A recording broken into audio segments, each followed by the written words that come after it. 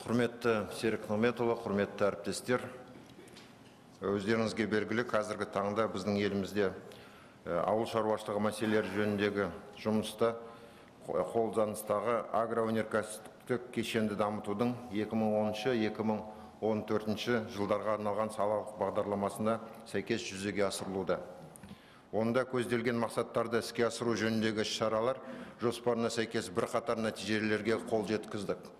Оның ішінде атап өтетін болсақ, бұл 2009 жылғы 3 мың доллардан 2011 жылға 4-те 4 мың долларға дейін еңбек өнімділігі бір жарым есеге арттырылды. Жалпы өндіріс көлеміндегі экспорттық үлес ұлғаюда.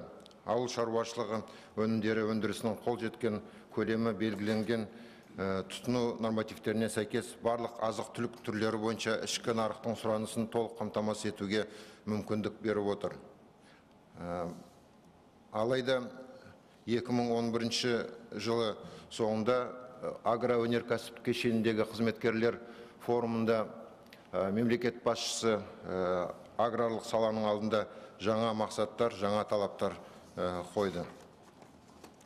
В 2011 году, в ноябре месяце, э, на форуме работников агропромышленного комплекса главой государства э, перед аграрным сектором Казахстана были поставлены новые стратегические задачи, достижение которых требует пересмотреть траектории и темпы развития всех отраслей экономики страны, в том числе и агропромышленного комплекса, наметить новые задачи, а также разработать соответствующий план мероприятий для успешной реализации поставленных целей. Поэтому действующая отраслевая программа э, это не предоставляет возможности, нужно было расширить горизонт планирования, э, наметить э, и утвердить новые инструменты мер государственной поддержки. Для этих целей э, была начата работа по разработке новой программы. В рамках ежегодного послания народу Казахстана «Стратегия Казахстан-2050» э, главой государства было поручено правительству утвердить данную программу в текущем году.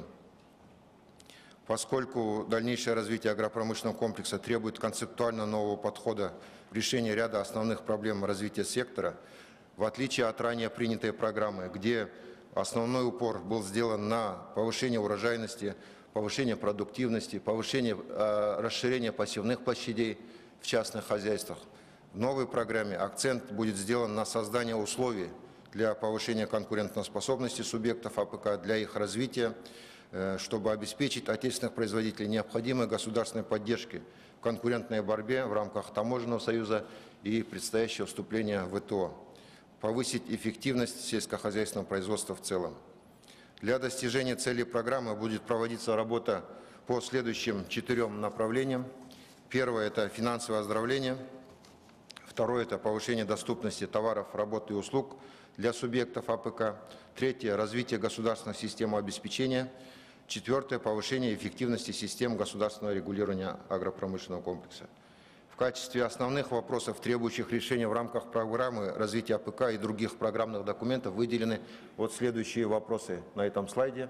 Это финансовое оздоровление, финансирование отрасли, эффективность мер государственной поддержки, земельные и налоговые отношения, инфраструктура, безопасность, техническое регулирование, развитие кооперации, маркетинг и консультации, наука, инновации, образование, подготовка кадров, развитие смежных отраслей, таких как сельскохозяйственная химия, сельхозмашиностроение, а также развитие социальной инфраструктуры. Э, Программа «Агробизнес 2020» э, включает следующие основные показатели. Это увеличение объема государственной поддержки сельхозхозяйства на, за счет субсидирования субъектов АПК в 4,5 раза. Пролонгация долговой нагрузки субъектов АПК за счет рефинансирования и реструктуризации займов не менее на 8, чем на 8 лет на общую сумму 300 миллиардов тенге. Коэффициент угрозы распространения карантинных особо опасных вредных организмов до 0,88 к 2020 году. Доля пищевой продукции, подверженной мониторингу лабораторного исследования, до 0,4%. А Также предусматривает меры по совершенствованию мер государственных услуг э, в области АПК.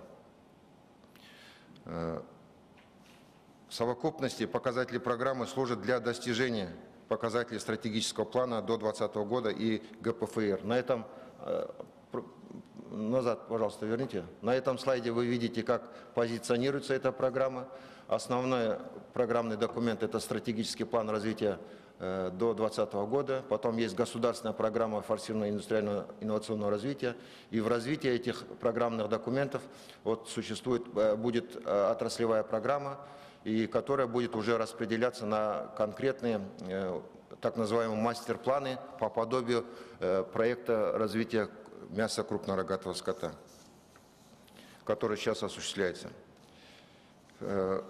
Если пройтись по основным направлениям в каждом, финансовое оздоровление – это является необходимой мерой э, для того, чтобы решить вопросы, которые сейчас накопились в отрасли, которые связаны с э, прошедшей девальвацией, с э, бывшим запретом на экспорт зерна, рядом повторяющихся засух и других негативных моментов, которые накопились в отрасли. Чтобы говорить о развитии, нам нужно было решить э, задачи и проблемы, которые тянули назад. При этом э, финансирование этого направления будет осуществляться за счет привлеченных средств. Основная сумма 300 миллиардов тенге планируется, что либо банки, либо э, холдинг Казагра будет привлекать с финансового рынка, и государство только лишь просубсидирует процентную ставку. Э, оздоровление будет осуществляться на рыночных принципах, никакого прощения долга или снижения кредитной нагрузки не предусматривается. Э, банки будут самостоятельно решать и будут на это оздоровление идти только те компании, которые еще способны э, вернуть эту кредитную нагрузку.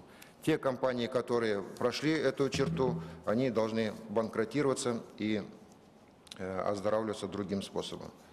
Общая сумма финансирования по этому направлению будет составлять около 375 миллиардов тенге. Э, и мы э, планируем решить э, задачи по повышению экономической доступности товаров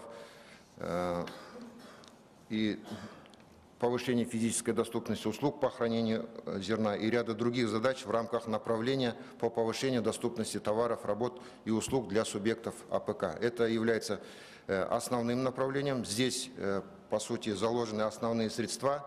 Проще говоря, это субсидирование. Э, в основном эти средства будут направлены на субсидирование субъектов агропромышленного комплекса.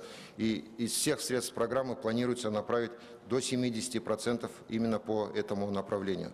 При этом появляются новые механизмы поддержки, такие как инвестиционные субсидии, субсидирование, страхование и гарантирование займов субъектов АПК, Э, инструменты фондирования банков второго уровня, субсидирование ставки вознаграждения, которое будет расширено на лизинг сельхозтехники и на кредитование э, оборотных средств субъектов агропромышленного комплекса.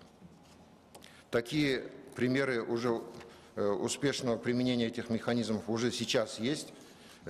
Например, можно привести очень эффективную субсидию, выплаты субсидий на одну маточную голову в животноводстве, которую внедрили в начале 2012 года.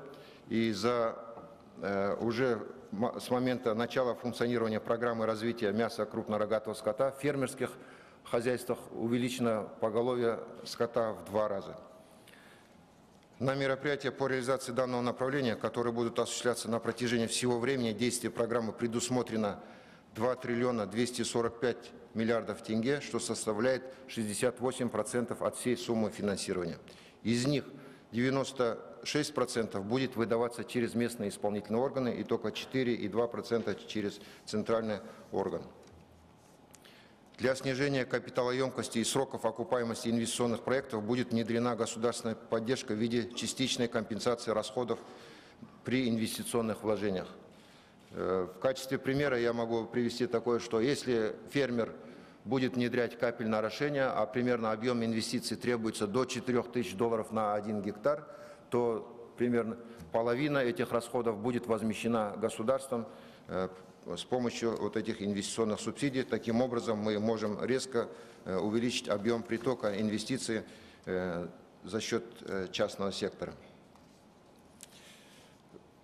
Есть большая проблема, что особенно по мелким и средним субъектам агропромышленного комплекса, которые не имеют доступа к финансированию из-за в основном отсутствие должного высоколиквидного обеспечения. Именно эту проблему озвучил глава государства в народу Казахстана э, от 27 января 2012 года, поставив задачу по внедрению государственной системы гарантирования и страхования займов для снижения рисков частных инвестиций в аграрное производство. В этой связи в целях обеспечения доступности кредитных средств для субъектов АПК и привлечения финансовых институтов в процесс активного финансирования агропромышленного комплекса будет внедрена система страхования и гарантирования займов субъектов АПК перед финансовыми институтами. Проще говоря, то государство возьмет часть расходов на себя с помощью субсидий, затрат по страхованию кредитных рисков. Таким образом, э, позволит решить проблему недоступности финансовых средств. Также надо отметить, что в программе заложены задачи по совершенствованию механизма обязательного страхования в растениеводстве. Это тоже является очень э, большим э, фактором для того, чтобы э, финансировать субъектов агропромышленного комплекса. И улучшение, совершенствование этих механизмов позволит снизить риски инвесторов и кредитующих организаций, что в целом очень благоприятно скажется. На Западе на сегодняшний день фермер приносит в основном не залоги в банке, а страховые полисы. И вот эти два страховых полиса по возврату кредита, а также страхованию посевов позволят э, увеличить доступность к финансовым средствам наших фермеров. В рамках направления развития государственных систем обеспечения субъектов АПК планируется решить следующие задачи. Это развитие системы фитосанитарной безопасности, обеспечение ветеринарной безопасности и развитие инфраструктуры э, водообеспечения пастбищ. По всем этим направлениям уже есть конкретные планы. Вот ветеринарной, по ветеринарной безопасности на, на сегодняшний день э, стоит острый вопрос по гармонизации и совершенствованию ветеринарного законодательства ступ, с учетом вступления в ВТО и с учетом задач по экспорту животноводческой продукции. По фитосанитарной безопасности у нас основная задача сохранить тот уровень э, безопасности и его улучшить. По э, орошению э, и развитию инфраструктуры водообеспечения и обводнению пастбищ будет разработана и утверждена специальная программа, которая будет реализовываться с помощью также инвестиционных субсидий, будет осуществляться самими фермерами, и государство готово будет возмещать часть инвестиционных расходов. Это позволит э, увеличить эффективность нашего животноводства и использовать огромный потенциал который, пастбищ, который у нас в стране есть.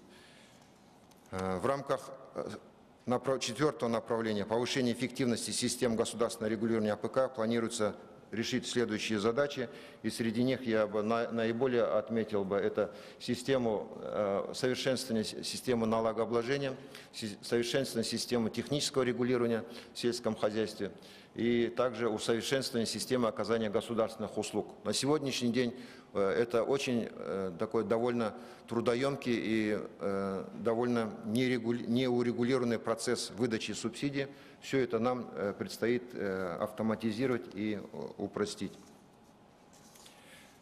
Общая сумма на реализацию мероприятий по повышению эффективности систем государственного регулирования АПК составит около 30 миллиардов тенге в течение 2013-2020 года. Всего на реализацию программы за 8 лет потребуется 3 триллиона 122 миллиарда тенге. На этом слайде представлен объем финансирования по годам. Из них 2 триллиона 662 миллиарда тенге предусматривается за счет государственного бюджета, это и республиканский, и местный бюджет. Остальное финансирование осуществляется за счет облигационных займов, это 300 миллиардов тенге, и собственные средства Казагра и его дочерних компаний. Бюджет новой отраслевой программы, э, в принципе, э, укладывается в те прогнозные показатели развития экономики страны. Он весь согласован и утвержден на э, республиканской бюджетной комиссии. Э, мы здесь выполняем те поставленные задачи главой государства, чтобы увеличить объем субсидирования к 2020 году в 4,5 раза. Э, и львиную долю, как я уже сказал, приходится именно на это направление. Программа эта была начата, разработка еще 20 февраля 2012 года был утвержден план действий Министерства сельского хозяйства по разработке отраслевой программы.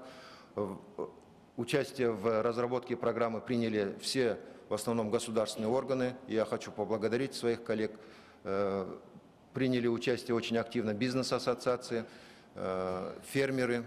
Неоднократно именно и под вашим председательством, Серик Намедович, проводились совещания, где каждый вопрос отдельно мы рассматривали, концептуально утверждали, и которое потом шло на дальнейшее э, э, как бы, развитие. В марте 2012 года было презентовано в Союзе Атамекен, было неоднократно презентовано в рамках парламента, в, в, э, в, обоих комитетах, в расширенных заседаниях комитетов. Были, были проведены региональные презентации, кустовые, в том числе с выездами на местах э, до районного уровня. Э, были проведены заседания делового совета Министерства сельского хозяйства, с участием всех представителей бизнес-ассоциации. Э, все программные э, концептуальные вещи здесь, они согласованы с бизнес-ассоциациями. Э, и проделана огромная работа этими структурами. Следует отметить, что проект требует пересмотра ряд государственных политик, лежащих в плоскости других отраслевых программных документов – таких как сельскохозяйственное машиностроение, химическая и легкая промышленность, водное хозяйство, техническое регулирование, торговля, конкуренция, налогообложение, легкая промышленность, информационная пропаганда. Поэтому просьба протоколом заседания э, правительства сегодняшнего дня э, дать соответствующее поручение государственным органам, чтобы соответствующая работа началась и была проделана э, в ближайшее время и синхронизирована с теми программными документами, которые сегодня мы утверждаем. В результате реализации программы ожидается получение следующего макроэкономического эффекта. Это увеличение физических объемов производства сельхозпродукции в полтора раза, повышение производительности труда на одного занятого в сельском хозяйстве в три раза, увеличение экспортной выручки от реализации продукции комплекса минимум на 20%, обеспечение продовольственной независимости по основным продуктам питания на уровне 80% от внутреннего рынка. Программа предусматривает привлечение более 10 триллионов тенге частных денежных средств в отрасль. Спасибо за внимание.